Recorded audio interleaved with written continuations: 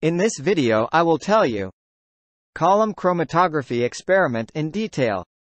The stationary phase is made wet with the help of solvent.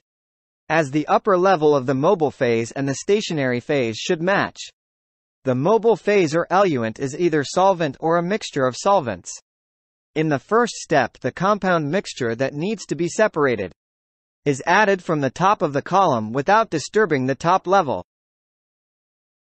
The tap is turned on and the adsorption process on the surface of silica, without disturbing the stationary phase solvent mixture is added slowly. By touching the sides of the glass column, the solvent is added throughout the experiment as per the requirement. The tap is turned on to initiate the movement of compounds in the mixture. The movement is based on the polarity of molecules in the sample. The non-polar components move at a greater speed when compared to the polar components. For example, a compound mixture consists of three different compounds. Viz red, blue, green then their order based on polarity will be as follows blue greater than red greater than green. As the polarity of the green compound is less, it will move first. When it arrives at the end of the column it is collected in a clean test tube.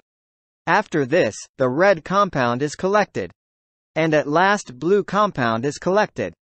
All these are collected in separate test tubes. Thanks for watching.